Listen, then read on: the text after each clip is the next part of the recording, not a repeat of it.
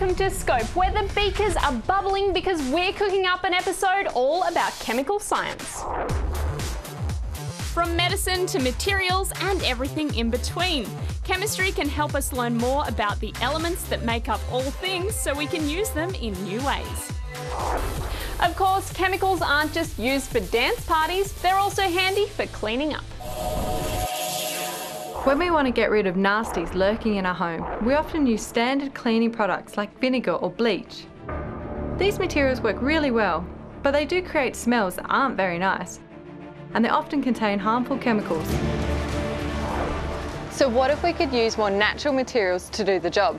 Hi, I'm Harriet, and here at Flinders University, we're testing a range of essential oils to see if they can work better in the fight against fungi. Fungi and mould can be found almost everywhere, and they're not always visible. Sometimes the teeny tiny spores are just floating around us in the air.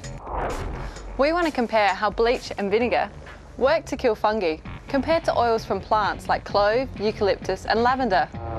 So we decided to grow some fungi of our own by isolating some of the strains found right here.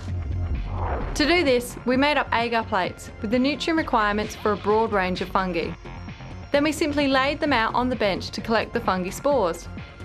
After an hour or so, we put the plates into this machine called an incubator, which heated the plates to 25 degrees so that they had the perfect conditions to grow. Then we transferred a small subculture of each type of fungi onto another plate to isolate them. Time to test out our different materials. Using vinegar, bleach, water and oils bought from the local chemist, we prepared our treatments by adding each material to a small disc, which we placed in the centre of the plates. We then checked the growth on the plates every few days to see if there were changes. After a week, we measured what is known as the zone of inhibition. The zone of inhibition is the area around the disc where there is no fungi growth.